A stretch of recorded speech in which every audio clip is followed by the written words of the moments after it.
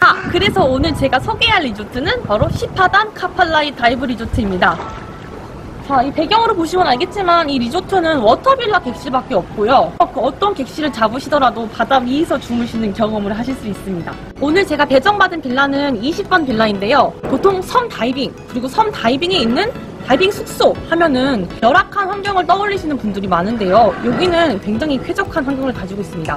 뭐 빌라들이 그렇게 새것 같은 느낌은 아니지만 유지 보수가 잘 되어서 깨끗하고 쾌적한 환경에서 잠을 주무실 수가 있습니다. 그럼 이제 각설하고 방으로 들어가 보실까요? 마블 윙 20번 방의 모습을 보시겠습니다. 조금 연식이 있다 보니까 카드키라기보다는 이렇게 굉장히 오래된 그 옛날 방문 아시죠? 그겁니다.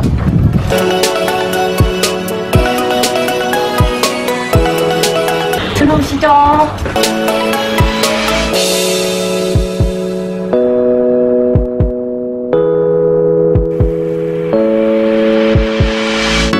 이게 조명은 조금 어둡네요. 이게 끈 거고 이게 킨 거예요. 별 차이가 없죠. 자 들어오시면 일단은 퀸 사이즈 침대 같아요. 퀸 사이즈 침대가 하나가 있고 침대 앞에 있는 두 면이 유리로 되어 있습니다. 그래서 바로 앞으로 바다를 볼 수 있고 여기는 지금 베란다 같은 구조로 되어 있어요. 뭐 특별할 건 없고요. 여기 테이블 하나 있고 여기 뭐 걸수 있는 행거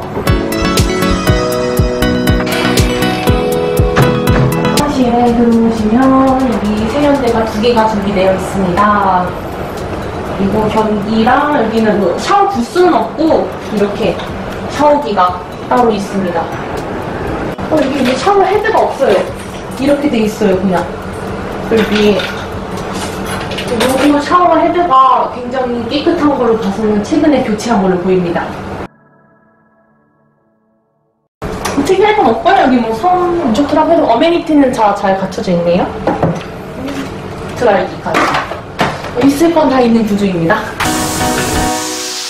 천장을 보시면은 여기가 지금 water 방갈로라서 층고가 굉장히 높습니다. 답답함이 없어요.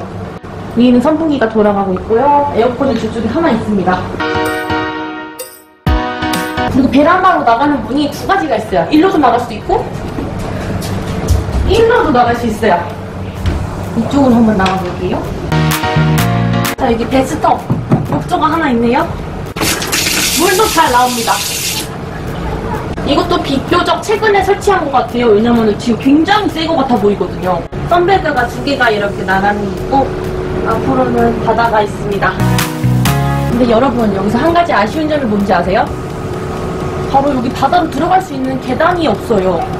저는 제가 생각했던 그 워터빌라들에서 할 수 있는 장점 중 하나가 바로 슝 하고 들어갔다가 이제 계단으로 올라와서 이제 야외에서 바로 씻- 씻고 방으로 들어가고 그런 장점들이 있는데 요거는 그거 하나가 조금 아쉽네요.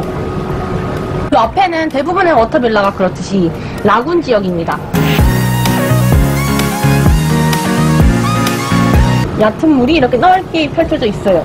또 라군이 엄청나게 넓은 건 아니고 저기 앞에 보시면 약간 물의 경계선이 보이죠. 파란 물로 바뀌는 저쪽에 이렇게 이제 꺾어 내려가지는 그런 지형인 것 같습니다.